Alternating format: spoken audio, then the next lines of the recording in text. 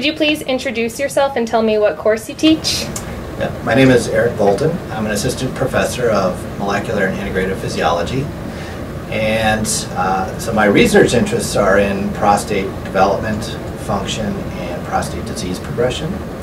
Um, so in line with this, I teach several MCB courses. The one that's kind of nearest and dearest to me is MCB 320, uh, which is formerly known as, or formerly listed as MCB 493 MHD. And so it's still mechanisms of human disease, um, but it will hopefully uh, next spring be offered as 320.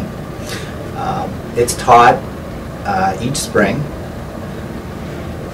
and uh, I guess in terms of kind of introducing it or giving you an overview, uh, it's mainly designed to look at some of the how molecular and cellular uh, abnormalities or uh, say say defects lead to uh, pathophysiology and they lead to uh, common diseases. And so uh, we're looking at environmental, um, genetic, and even epigenetic type mechanisms that lead to common pathology and pathophysiology of disease. What's the general format of your course? Are there any discussion sections or is the lecture taught in seminar format? And also, are there iClickers used in the course? Yeah, so it is uh, entirely lecture format.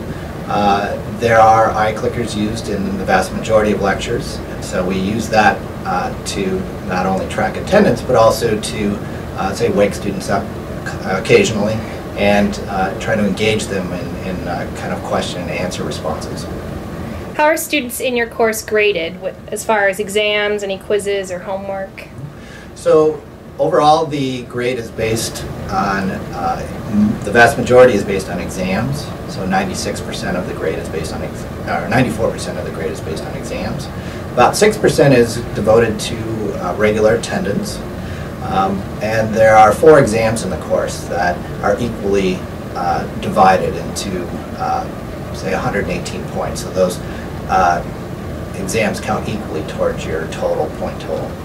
With regard to textbooks, are there any required textbooks that students must purchase for the course, or are there PowerPoint slides provided before class? Yeah, so at this time, we don't have a textbook that exactly matches the flow of the course.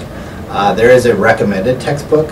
Uh, that being said, it, it maybe is equivalent to about 40 to 50 percent of, of some of the lecture content.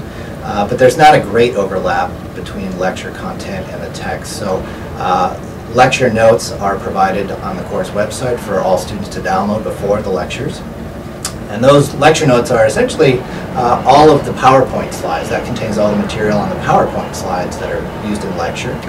And so students are, are the, the lecture notes are designed to be kind of an outline for students so that they can uh, take as many notes as they want, but they don't have to worry about trying to draw and copy down all of the information on the slides. Are there any prerequisites required before taking the course or any kind of background knowledge that you would recommend students have? Uh, so the prerequisite for the course is MCB 252, um, cell, tissues, and development, I believe. Uh, also, as a uh, since since that is required uh, you, uh, for that requirement, you also have to take MCB 250, which is, I believe, molecular genetics. Um, those are the, really the two main courses that I think are most important to have as background. Um, a, a, number of other students that are also taking anatomy and physiology while they're taking this MCB course uh, find that they synergize quite well, but anatomy and physiology is not a prereq for the course. How would you say the topics covered in your course apply to current research or medical and scientific advancements? So, so the, the, this course, unlike I'd say many of the other courses taught uh, by MCB, is very disease focused. Um, that is, you know, what each lecture is based on learning information about diseases. Uh, and so to do that, you know, we're bringing in a lot of research, very recent research and clinical findings in, in terms of diagnosis and therapeutic techniques. And so each lecture has that incorporated into it.